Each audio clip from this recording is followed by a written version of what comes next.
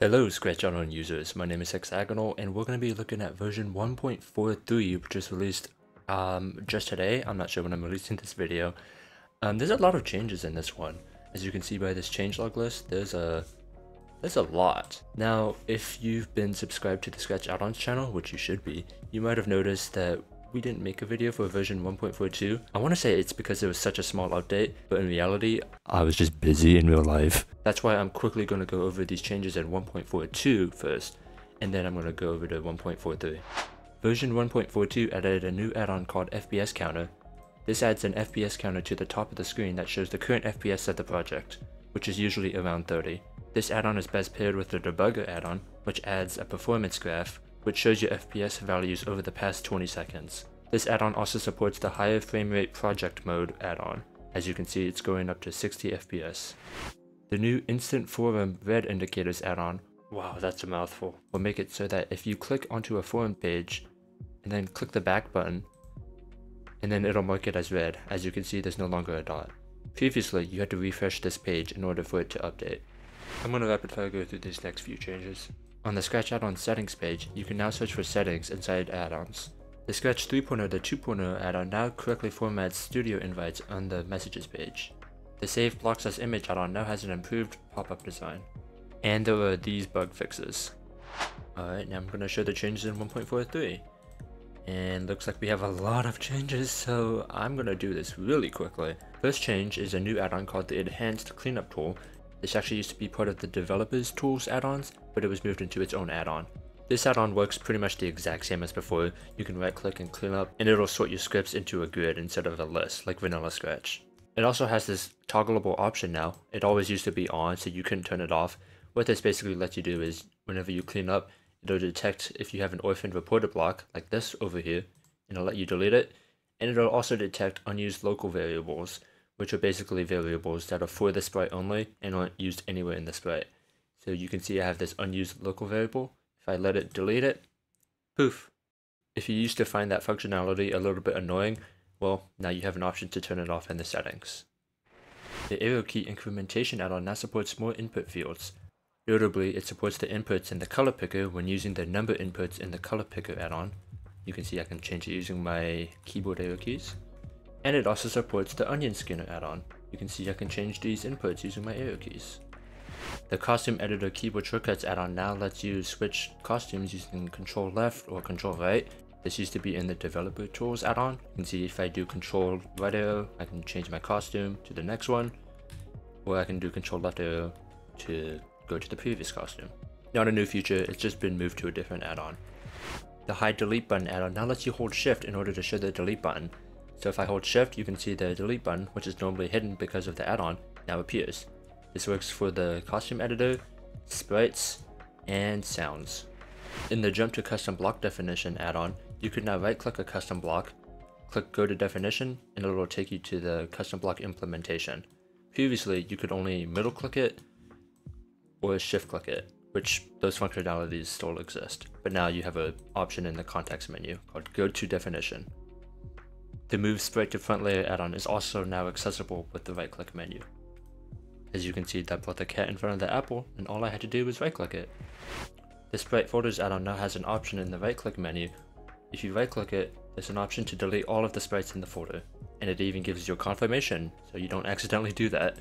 And you can undo it by going to the edit tab up here and clicking restore sprites. The forum post cooldown display add-on is now more accurate and it has an option to retry sending the message after the countdown. As you can see if I make a post and I try to reply to it, it gives me a cooldown. There's also an option here to post after the cooldown. So if I let the countdown go all the way to zero,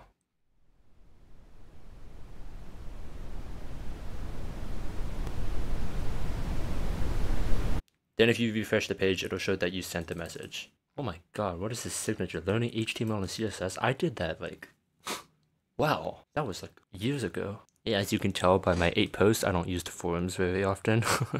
the shared slash edited dates tooltip add-on has been renamed to the additional project dates add-on because they added the project creation date to the tooltip and they don't really want to call it the shared slash edited slash created tooltip. Anyways, here's what it looks like. There's no change functionality wise except for the new line there that says when the project was created.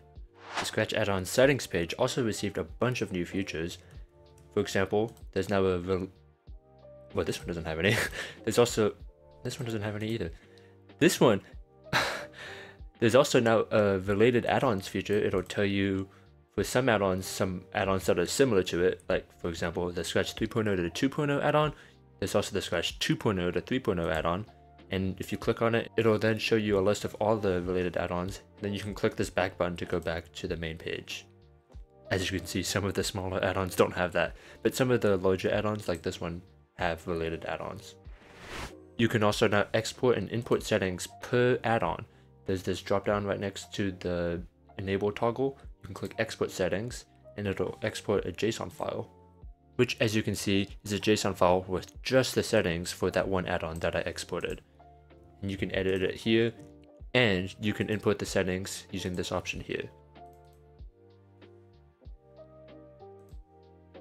And you can see it even turned on the toggle, just how I edited it in the JSON file.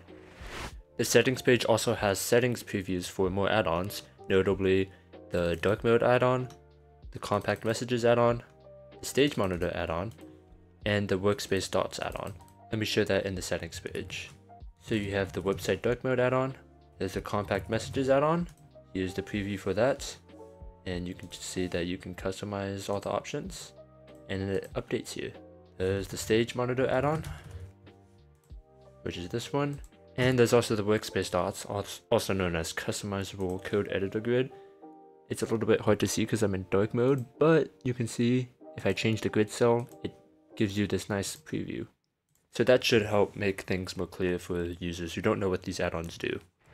Also, the settings page should look better on mobile. You can see there's this hamburger menu and you can switch between pages pretty well there's not that many of you guys who uses Scratch add-ons on mobile because you can really only use it on the Kiwi browser for Android, I believe. I don't even know if there's a way to do it for iPhone. But yeah, for those of you who do use it on mobile, well, there you go. It looks better now. okay, I'm going to quickly go over a few small changes and bug fixes. Normally, if you have a project with a really long title, it'll get cut off at the end.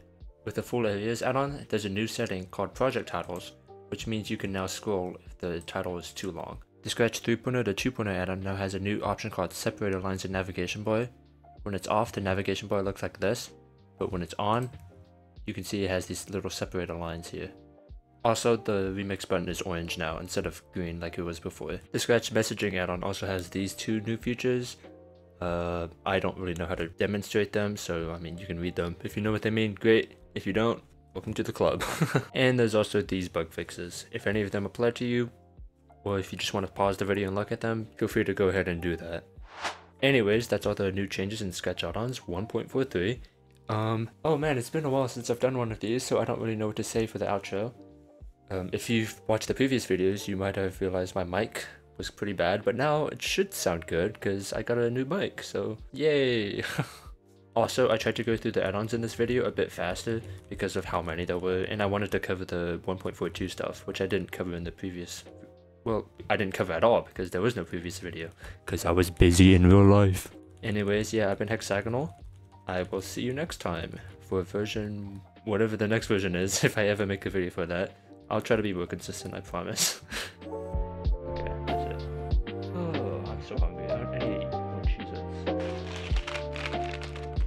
Oh yeah, it's good stuff. Let me turn off this recording now. Oh, I've got to edit all this. I wonder if there's anything else I need.